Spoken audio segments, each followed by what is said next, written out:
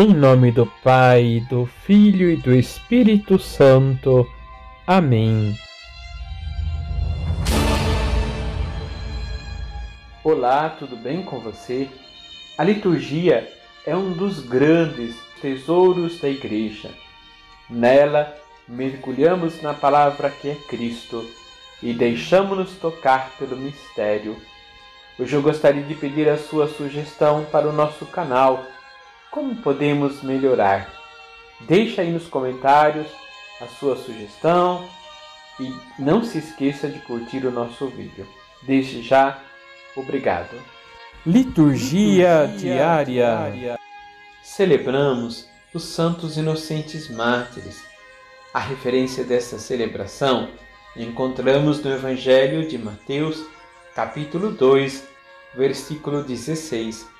Quando Herodes percebeu que os magos o haviam enganado, ficou muito furioso e mandou matar todos os meninos de Belém, bem como de todo o território vizinho, de dois anos para baixo, exatamente conforme o tempo indicado pelos magos.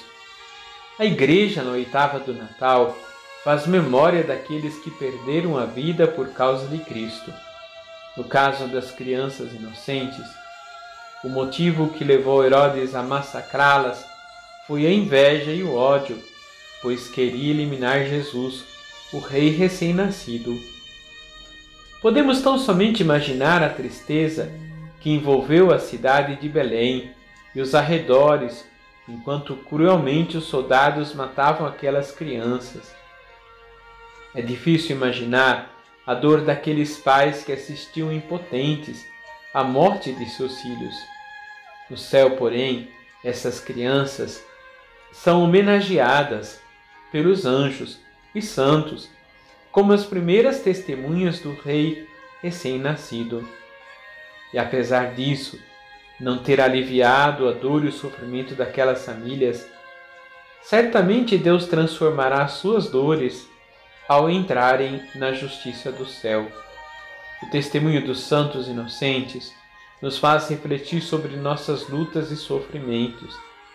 Qualquer que seja a sua dor ou sofrimento, saiba que Cristo entrou no mundo assumindo as nossas fragilidades para que pudesse restaurá-las. Reflita hoje sobre o que é mais doloroso para você nesse Natal. Seja o que for, você está convidado a unir a sua dor com a tristeza das famílias que perderam esses pequeninos. Vamos rezar? Senhor, quantas pessoas anônimas não deram livremente a sua vida por causa de vós? Dai-nos um coração ardoroso, para que sejamos sempre testemunhas eficazes do vosso amor pela humanidade, especialmente por aqueles que necessitam de vossa misericórdia. Assim seja.